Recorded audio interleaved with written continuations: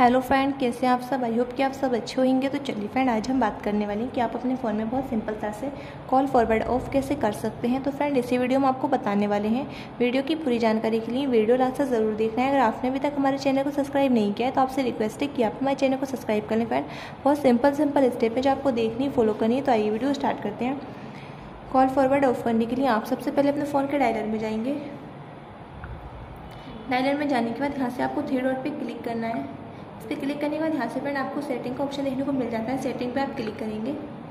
इस पर क्लिक करने के बाद यहाँ से फ्रेंड आपको एक ऑप्शन देखने को मिल जाता है। सप्लीमेंट्री सर्विस इस पर आप क्लिक करेंगे।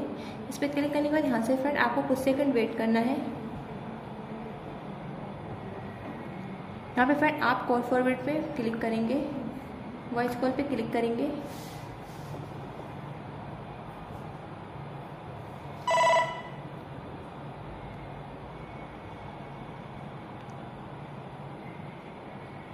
यहाँ से फ्रेंड आप इस पर क्लिक करेंगे। इस पर क्लिक करने के बाद यहाँ से आपको ऑप्शन देखने को मिल जाता है डिसेबल इसे आप क्लिक कर देंगे। इसे क्लिक करने के बाद देखिए फ्रेंड यहाँ से आपकी कॉल फॉरवर्ड ऑफ़ हो जाती है।